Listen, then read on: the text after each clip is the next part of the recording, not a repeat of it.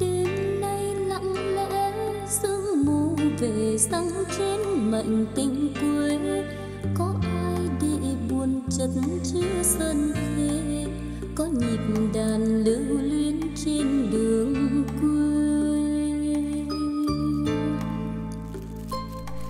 Đối với những người chơi audio chuyên nghiệp như chúng ta, chắc hẳn khi nói đến tất cả những thiết bị audio đến từ Mỹ, ví dụ như các dòng loa karaoke hay những dòng loa nghe nhạc chuyên nghiệp, chúng ta đều dành cho nó những tình cảm tốt đẹp. Nếu như quý vị và các bạn theo dõi kênh của tôi một cách liên tục có hệ thống từ nhiều năm qua, chắc hẳn chúng ta không còn xa lạ bởi tôi đã khá kỳ công và review rất nhiều những video clip nói về những dòng loa nghe nhạc đến từ Mỹ, trong đó có dòng loa Calip. Quý vị và các bạn thân mến, trong chương trình hôm nay xin phép được tiếp thị đến quý vị và các bạn cặp loa Booksell của Mỹ giúp cho quý vị và các bạn thỏa mãn được niềm đam mê nghe nhạc chuyên nghiệp. Tất cả những yêu cầu về mua sắm và tư vấn phối ghép xin hãy gọi điện hoặc nhắn tin theo một trong hai số trên tấm biển. Hiện nay các bạn có thể trực tiếp đến cơ sở của tôi ở Hà Nội để lựa chọn những sản phẩm nghe nhạc chuyên nghiệp hay những sản phẩm karaoke chuyên sâu. Những anh em có Facebook hãy dùng tính năng theo dõi để cập nhật các hoạt động của tôi trên Facebook có tên Hoàng Liên Cư Sĩ như dòng chữ nhỏ dưới cùng của tấm biển. Ngoài ra anh em có nhu cầu về sửa chữa những thiết bị audio của gia đình, hãy gọi điện cho kỹ thuật viên Quang Vị theo số điện thoại đang hiển thị phía dưới của màn hình.